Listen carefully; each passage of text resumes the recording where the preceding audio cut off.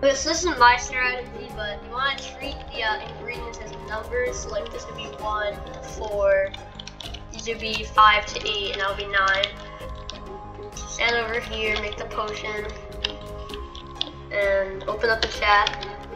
So it's nine, seven, eight, five, three. And then you're gonna walk over them. Oh, I missed like okay, well, and then yeah, you're gonna do that.